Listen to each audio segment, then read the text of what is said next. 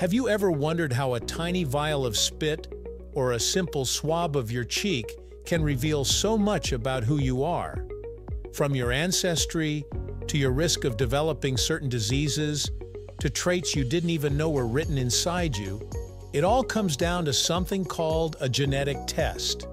It sounds like science fiction, but it's actually science fact. Today, let's break down how genetic testing really works step by step, in a way that makes sense without needing a degree in molecular biology. Right here, on History of Simple Things.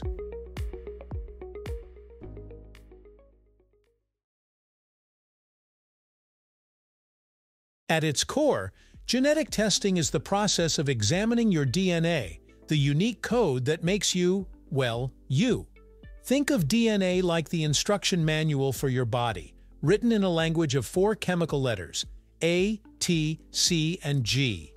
These letters combine in different ways to form genes, and those genes influence everything from the color of your eyes to how your body processes caffeine. A genetic test doesn't read your entire instruction manual cover to cover. Instead, it zeroes in on specific chapters or sentences, particular genes or regions of your DNA, that scientists know are linked to certain traits or health conditions.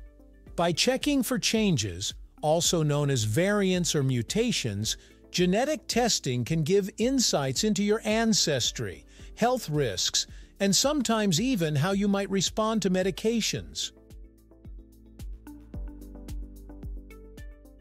The process begins with a very simple act, collecting a sample.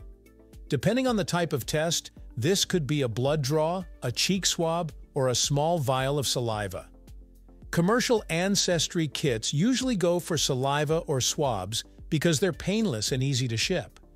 Medical tests sometimes use blood, since it provides a very high-quality DNA sample. No matter the source, all of your body's cells carry DNA. So whether it's a white blood cell floating in your bloodstream or a skin cell on your cheek, the genetic information inside is the same. This makes sample collection flexible and relatively stress-free. Once the sample arrives at a laboratory, scientists need to pull the DNA out of the cells. Imagine your DNA as a tightly wound thread hidden inside a protective box. Specialized chemicals break open the cells dissolve the protective proteins and free the DNA. The result is a clean solution containing nothing but strands of genetic material. This DNA is then purified, stabilized, and prepared for analysis. Depending on the type of test, scientists might need a lot of DNA, so machines can copy it over and over using a process called PCR, or polymerase chain reaction. This creates enough material to work with while keeping the original sequence intact. Here's where the real magic begins. Once your DNA has been extracted, scientists have to figure out what it actually says. The way they read it depends on how much detail the test requires. Sometimes, a very specific approach is taken. For example, if a doctor suspects a mutation linked to breast cancer, the test might focus only on the BRCA1 and BRCA2 genes, zooming in on those exact regions. Other times, the analysis is broader. Consumer and ancestry kits often rely on genotyping, a method that scans hundreds of thousands of known markers scattered across your DNA.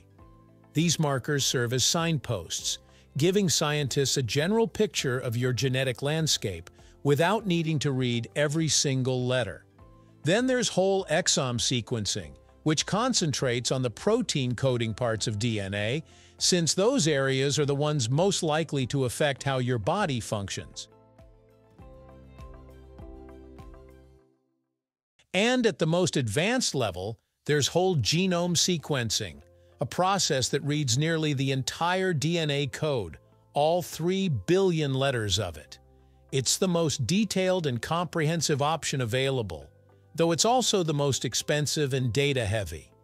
No matter which method is used, powerful machines take your genetic code and translate it into digital information that computers can analyze.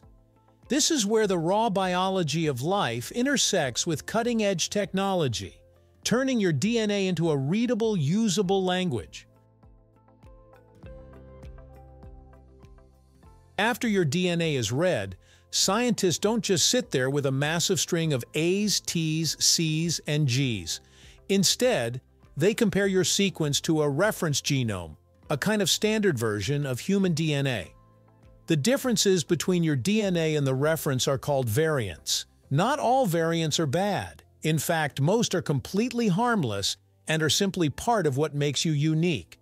But some variants are known to increase the risk of certain diseases, while others might influence things like how your body digests lactose or reacts to medications. For example, a single change in the CFTR gene can cause cystic fibrosis.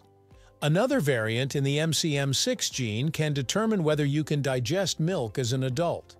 These small differences can have big impacts, and genetic testing is the key to spotting them. Of course, spotting a variant isn't the end of the story. Scientists and genetic counselors need to interpret what those differences actually mean. This is one of the most important and sometimes most complicated parts of genetic testing. Some results are clear-cut.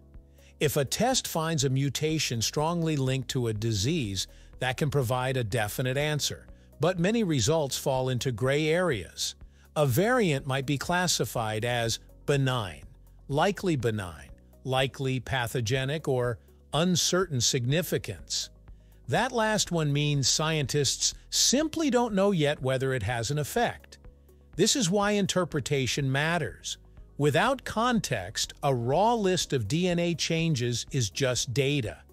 With proper analysis, it becomes insight, something you and your doctor can actually use.